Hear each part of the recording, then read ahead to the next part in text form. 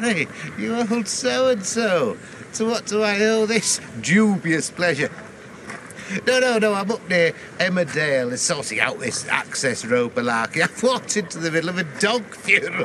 Can you believe Mr. Dingle, what's he doing? You want to learn some respect, pal? Dad, don't hit him. He'll just go to the police. He's not worth it. You know what, mate? You are trespassing, so I'd do one before you actually do get hurt. I'd be happy to, but Mrs. Dingle and myself have things to discuss. It might be easier uh, talking in more civilised surroundings. I can give you a lift. Mum? Well, you're not going here. I've got things I want to say. Lisa, you can't. I'm glad one of you understands where your future lies. After today, I've absolutely no doubts. Alfie rests here. This is our home.